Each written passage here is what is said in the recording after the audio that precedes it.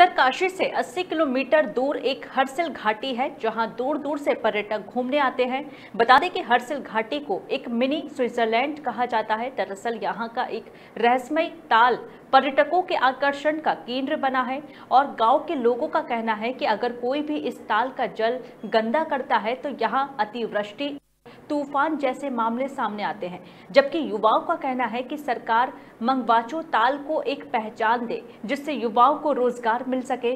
वहीं पुरोहित राजेश सेमवाल ने बताया है कि ये ताल गंधर्व और देवताओं का ताल है, जिसमें स्वयं देवता और गंधर्व स्नान करने के लिए आते हैं। साथ ही उन्होंने कहा कि ताल के किनारे ताली बजाने से उसमें उबाल आता है। उत्तरकाशी से विनीत कसवाल की रिपोर्ट।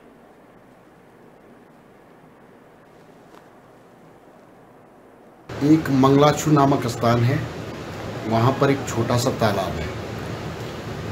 इस तालाब का महत्व तो ये है कि यहाँ जब भी आदमी शांति से जाता है तो तालाब केवल शांत रहता है। यदि आपने किसी भी प्रकार की बातें अगर वहाँ पे करनी शुरू कर दी या किसी प्रकार का वाइब्रेशन कर दिया तो वो ताल जो है, उबलने लगता है। उसका पानी ऐसा लगता है जैसे उबाल आ गया उसमें।